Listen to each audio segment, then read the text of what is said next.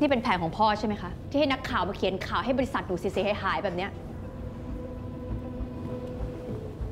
นี่ถ้างานที่แกทำอยู่มีปัญหา แกก็กลับมาทำงานที่บริษัทนั่นสิ ไม่กลับค่ะ แล้วพ่อรู้ไว้ด้วยนะคะว่าพ่อจะแกล้งหนูยังไงก็ได้แกล้งไปเลยค่ะ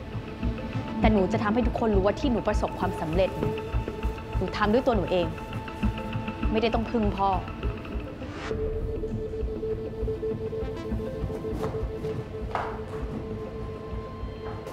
ลูกเลี้ยงพ่อนี่ดื้อจังเลยนะครับ